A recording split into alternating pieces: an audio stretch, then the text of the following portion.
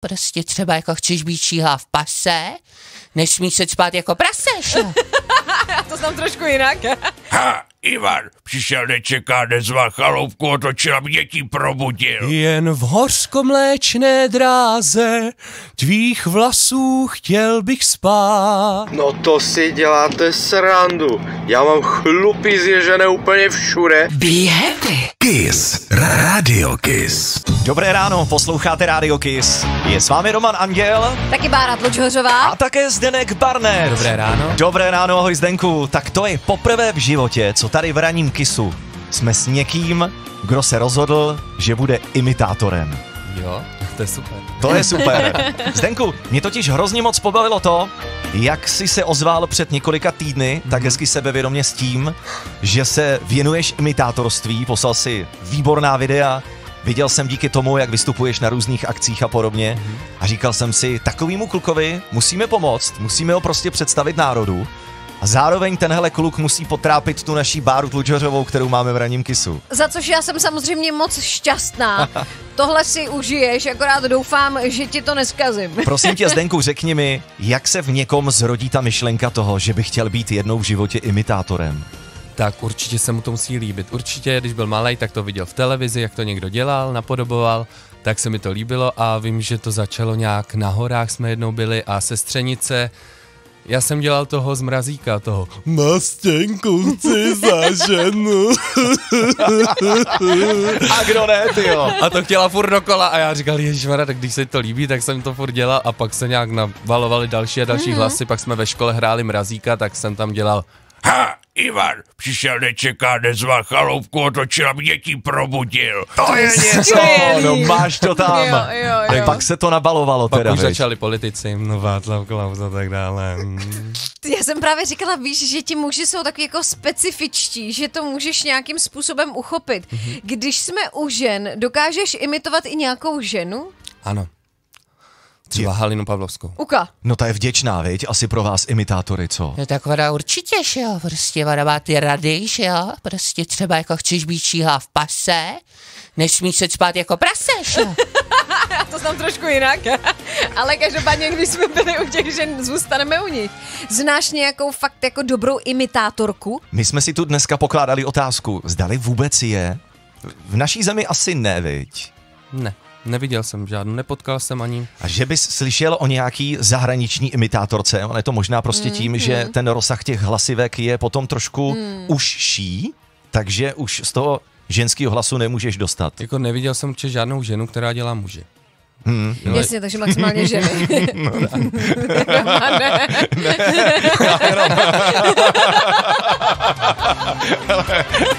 Prosím vás, pojďme vysílat.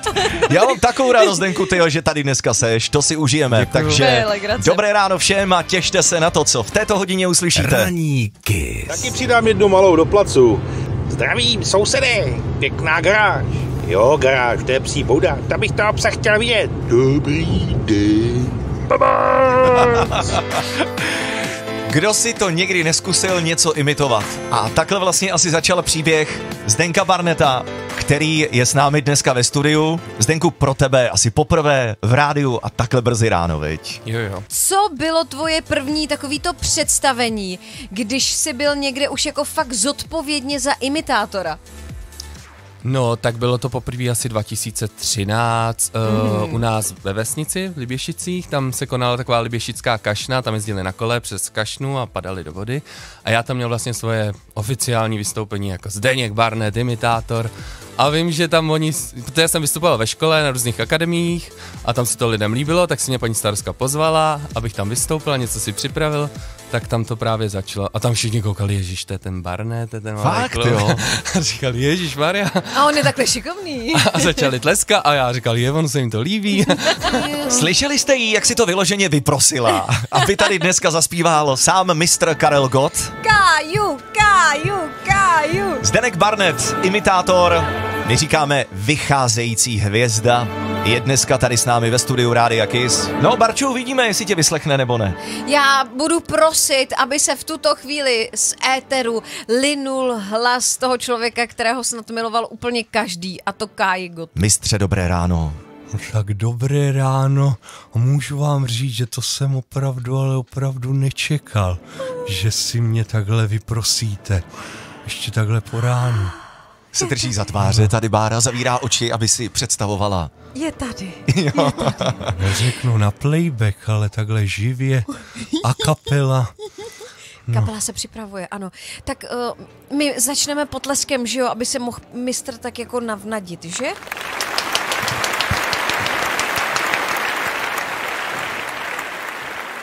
Po lávce tvého nártu přejdu nejsnáz pláče prout. Na stéble tvého zápěstí mohu dál i v bouři plout. Jen v hořkomléčné dráze tvých vlasů chtěl bych spát a máš-li směk k zkáze, tak já ji přijmu rád a stokrát chválím čas, kdy vcházím do tvých řas a každý záhyb tvůj i vlas já znám. Tak co vy na to, kysáci? No to si děláte srandu. Já mám chlupy zježené úplně všude, a i tam, kde nemám. A když jsem si to představil, tak mi aj ta slza vyhrkla. To je vzpomínka, to je super. Zdenek Barnett, který je s námi ve studiu, imitátor, zaspíval jednu z nejkrásnějších písní od Karla Gota. Hele, čekal jsem fakt úplně všechno. Zdenku, ale klobouk dolů, ten Karel se ti fakt povedl. Hele, já máš novýho fanouška a myslím si, že jich ještě přibude. Jsi fakt dobrý, já držím palec. Zatím, čau, Peťan. Tak co ty na to, Zdenku? No tak děkuju za chválu. to si vždycky dobře poslouchal, já vždycky nevím, jak se mám u toho tvářit. Ta- tady je to jedno v rádiu, tady můžeš cokoliv. Klidně kyselé, ale usmívej se. tak jo, když jsme teď u toho, že se ti tohle povedlo, Yes, man. Yes, man. uvidíme, jestli se povede něco, co možná si nikdo nikdy neskusil. Zdenku, a jeden hlas, naučit se, dá se to spočítat na hodiny? Nebo na dny? Nebo na týdny? Myslím, že je to dost individuální. Hmm. Nejtěžší hlas? Já vím, že dlouho jsem trénoval Přitom ho každý umí docela. Luďku, so, Luďka sobotu, jo, protože ono to bylo jako těžký ho udělat, jo. A pak tam byl ničeho nic, jo. Tohle zabírá. Já to znám z tvých videí. Tohle vždycky Zdeněk udělá na ty lidi a oni hned leží na stolech, jo. Je, to Baro, tohle udělej, to se nauč. Když říkáš, že je to nejtěžší, tak seš Ale tak jak pro koho? A naopak nejlehčí, kdyby někdo řekl, já chci se naučit nějaký hlas, ale ona je žena, Barča, my jsme říkali, nejsou imitátorky, jo. A třeba se to zlomí. Ty, co tě napadne, co je úplně nejvíc easy? Počkej, a myslíš si, že je to fakt dobrý prozrazovat, protože když to prozradíme a třeba A. mě to bude chtít eh, Zdeněk Pravda. naučit, tak... Dobrý postřeh. Protože to bude na vás, kysáci, jo. Mm, Ty to řekneš Barče teď v zákulisí, vy to budete trénovat a před osmou hodinou uh, ti tady pustím nějakou fanfáru, A nebo tu, tu, tu. nebo jasně, nastoupíš, vypálíš něco a kysáci uhodnou, koho právě imituješ. Zdenek se baví náramně, Zdenek Barnett, imitátor ve studiu v Rádia Kis. Ahoj Zdenku. Ahoj. Heleď, kysáci žijí tím, co tady dneska už všechno předvedl, hlavně díky písni Karla Gota, kterou si zpíval. Já teda imitátory politiků moc nemusím, ale teď, jak zaspíval toho Karla Gota, tyjo normálně husina, Moje jsem si myslela, že tam Karel s váma je. Lado, měla jsem to úplně stejně a věřím, že i spousta našich kysáků, kteří se ozývali přes apku kisu. A pokud jste naladili až teď a říkáte si, no tak to je paráda, my jsme to neslyšeli, vy jste to tam měli někdy před půl osmou, nebojte se, všechno to dohledáte. Ano, bude to během dnešního dne na podcastu Rádia Kiss. Existuje v imitátorství někdo, nějaký hlas, koho jako se nesmí imitovat, třeba já nevím, napadá mě třeba Putin nebo takhle, jakože, že by potom měl nějaký problémy z toho, nebo, nebo je to neomezený úplně. To bylo první, co mě napadlo, že by třeba tam mohl být problém, nebo třeba Kim Jong-un. No, máš na to odpověď, Zdenku. Právě, jak v který zemi. Takže u nás můžeš všechno. Tady bych řekl, že můžem všechno. Fakt to jo, taky. A Putina umíš taky. Já jsem se rusky naučil. jo, dobře, tak nic, no. Nenapadá ti nikdo, kdo by tady jako u nás mohl, já nevím. Tak já nevím, tak jako třeba někdo jako takhle může imitovat koho chce, ale tak jako já bych to taky zakázal, tak jasně. Protože jako to je zesměšnování a prostě tak já bych to zrušil. Že? Chci vidět, kdo bude dělat toho fialu. Co Fiala, Zdenku? Dáváš to taky? Tak teď jednoho premiéra jsme slyšeli a Já vždycky vyčkávám na ty politiky, protože No, jasně, je to takový nes... jasně. A zvlášť ministry zdravotnictví, to jsem se ještě neodvážil dělat. rozlobil se na tebe někdy někdo přímo při tom vystoupení, jakože... Uh, Jsi někoho imitoval, koho třeba oni neměli Mhm. rádi, nebo naopak ho měli rádi a No tak samozřejmě u pana prezidenta, jo. Jedna paní to neustála a řekla, že to nebude poslouchat a odešla, jo. No. A to byla eh, tedy faninka a nelíbilo se jí, že si z, ní dělá, z něho děláš srandu? Píš odpůrky. Takhle, aha, od druhé strany vítr foukal. No tak my se jdeme učit, cože nám, toho Klauze chceš? Uvidíš, Báro, kolik lidí dneska urazíš ty. Pavlovskou! Se vstává jedině na, jedině na kisu. Teď se ptají kysáci na to, když ty tedy budeš někoho volit, někoho imitovat, oni mají poznat, kdo to bude, jestli by nebylo jednodušší imitovat samu sebe. Jako já sama sebe mám imitovat, nebo že by mě třeba Zdeněk by mě mohl imitovat? Ale ty si tady pronesla, No. že vůbec nemáš nic charakteristického ve no, svém hlasu. nemám, nemyslím si. Tak se tady Zdenek trošku už klíbnul. Máš pocit, že mám Zdeňku něco, co by se na mě dalo jako imitovat? Tak na každém je něco. No počkej, Tak kdyby byli všichni stejný nebo hlas nějak nezajímavý, tak... tak By- Zdenek by v tom neměl práci, že jo? No, No, no. Kdyby jsme Zkus, všichni mluvili zkus. jak roboti, no.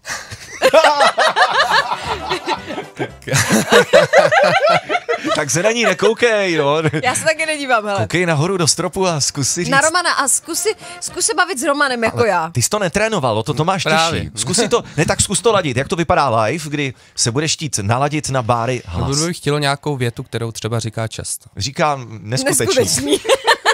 ne, tak co říkáš často? Dobré ráno, kysáci. Dobré ráno, kysáci, Jsou tady je ranní 7 jukeboxy. hodin 48 Ano. minut třeba čas a tak. Dobré ráno, kysáci, 7 hodin 40 minut. Bych spíš nedělal někoho jiného zase. Dobré ráno, kysáci. Romane, ty se směješ? Ne, hele, Zdenku, domluvíme se Ne. takhle. Ty bys Barču trénoval a ozval se nám třeba o pár týdnů později. Fakt, že, sledovatý. že mě budeš načítat. Jo, a máme vyřešeno. Barča jde na mateřskou. Ty potom nastoupíš a budeš tu místo Báry. A budeš muset mluvit ale jako já? Teď Michala to napadlo taky. Nazdar kysáci, tak vemte tam Zdeňka místo Barči, až bude na No. mateřský dovolený a uvidíme, co zvládne. Jo, Já bych ho rád viděl s Tomášem, jak tam spolu budou blbnout. No vidíš, hele. To je byste to si tady. pěkně užili. Nebudem to zdržovat, za chvilku finále je smena. Ne. Ranní kis. Dobré ráno, tady Míša. Ahoj Míšo. Ahoj. Ahoj, Míšo. Ahoj. Ahoj. Tak no, Takže Míšo, je to jednoduché, Barča teď začne, Zdenek Barnet, imitátor, bude dohlížet, po případě ti pomůže, Mhm. ale nejprve vždycky bude nutné, když někoho budeš imitovat, aby jsme se zeptali Míši, jestli tuší nebo ne, Zdenek by situaci zachránil, jo? Dobře, tak, Můžeš, jestli chceš začít, Míša tě poslouchá. tak jo. Míšo, jsi připravená? no já vždycky na tebe, Barunko. Já nikdy. tak já jdu na to, jo? Tak. Ano, No, dobrý. nevím. Ještě pojď, pojď jednu větu, dej to. Dobrý den, dámy a pánové. Já si myslím, že to je úplně tak nespecifické, že nemůžeš poznat, kdo to je. Míšo, napadá ti někdo? Vůbec? Se nedivím. Zdeňku, mohl bys prosím za mě? Já si myslím, že jsem to poznal, já doufám, jo. to byl ten No. druhý. Aha, Ten druhý. ale bylo to víc podobný mně. A kdo to byl, Barčo? No, to měl být Klaus, on mluví tak jako pomalu, že jo? Aha. No nevím, Aha. nevím, nevím. Tak dobře. No, dobře. Druhý Hm, pokus. M- Míšo, poslouchej. Barča jde na to. To bude úplně ztracený, jo? Tak počkej. Marek ztracený. Mm, Ne, ne, ne, ta, ta, ta, tahle bude ztracena. Tak pojď, jdem na to, Tak. neboj. No, takže já bych vám chtěla dát jednu radu pro dnešní den. A to, abyste si dávali pozor na to, co kde říkáte, ano? Míšo? To je ženská nebo chlap? Zdeku, můžeš pomoct? No takže jo, prostě já bych vám jako pomohla, ale vy jste měla jako takový francouzský jako přízvuk, že jo, prostě. Ale na Pavlu. Jo, ale, ale to víš, no od Barči to musí přijít na první dobrou. To prostě já to neumím, že jo? Pojď do třetice, někoho, vyndej nějakou bombu teď, Baru. Bombu. Nebo ženská.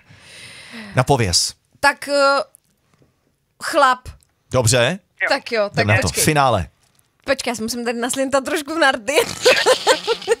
tak já to zkusím.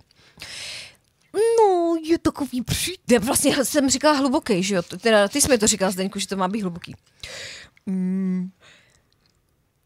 Mám tady jednoho takového malého pejska. Je to přítelná flnečka. Jo! Ale to bylo jenom proto, že jsem mluvila o pejskovi, víš? Ne, jsem tě poznal po hlase srbsky. A bylo Jo, to výborný a to mi moje oblíbené pejsečky. Míšo, díky za pomoc, ale měj se krásně. Ahoj. Měj se hezky, ahoj. čau, čau. No tak to je něco teda. Bože, to bylo strašný. Ale jako takhle, já už jsem říkala na to, že jsem vždycky tady za lůzra v rámci těchto těch jesmenů, ale Zdeňku, ty seš fakt borec. Pane učiteli, jak byste ohodnotil Báru od jedničky do desítky, radši dejme trošku větší stupnici. Jedenáct. Se vstává jedině na Jedině na Kisu. Společné vysílání se Zdenkem Barnetem jde do finále, čtvrt na devět, jo, ale hele, všechno je to nahraný, video, podcasty, nasypeme to ven, jo? To rozhodně kysáci, protože tohle pokud jste nestihli celé už od 7 hodiny raní, tak si to poslechněte, koukněte se na ten výběr těch nejlepších videí. A... Kdybyste toho měli málo, našeho Zdenka, tak Zdenku, kde tě kromě domova důchodců najdeme? Počkej, ale to si řekl strašně hloupě. Ty budeš vystupovat v domově důchodců, Jo, jo, že dnes jedu ve dvě. Tam. Že to je nejvděčnější publikum, že jsou šťastný, viď, že Určitě, mě určitě. někdo udělá radost. Mhm. To již to bude dneska mejdan teda. Kamže to jedeš? Kde to bude? Dali to měřit. Tak skvěle, pozdravuj tam. Dobře, dobře. A no kde tě najdeme jinak? Sociální sítě asi Jasný, jedeš, viď? Facebook, A Instagram. jak tě tam najdeme? Zdeněk Barnet, dvěte. Zdeněk Imitátor. Barnet Imitátor. Ano. Mhm. Imitator, t A ono to najde v obojí určitě. Jo, a on to totiž Zdenek ty dvě t na konci nemá jen tak pro nic za nic. Víš, kdo měl dvě t na konci svého příjmení? Božský Kája. Karel Gotete. Ty jo, to je něco. Ano. Ah, Kájo, děkujeme, děkujeme, komu všemu děkujeme? Kdo ti utkvěl v paměti za dnešní ráno? To je se Zdenkem se loučíme. No počkej, tak Zdeňku, pojď, mm, za někoho se teďko... Rozloučit se, pozdravit, popřát hezký den. Teď to Tak začíná. samozřejmě se s váma loučím určitě se uvidíme třeba na zámečku v Lánech, jo. No, přijedu rád. Na oslavě vašeho svátku, Miloši. Dneska se slaví. Já děkuju všem za přání, protože Miloš to je krásné jméno, jo. Tak a kdože se to s námi ještě dál loučí? Kdo ještě popřeje hezký den? No, tak třeba takhle jako bývalý premiér, tak já bych jako neříkal bývalý premiér, prostě stínový premiér. My jsme si teď udělali tu stínovou vládu, aby jsme prostě sledovali ty nesmyslné kroky té současné zvolené vlády. To je skvělý. A na finále nějakého komika? Eh, Já, já nevím, jo, takhle něco takhle rychle říct, jo, třeba já nevím, jo. Eh, takhle, jo. Zdenku, měj se krásně, díky za bezvaráno. Já vám taky děkuju moc. Kiss. Radio Kiss.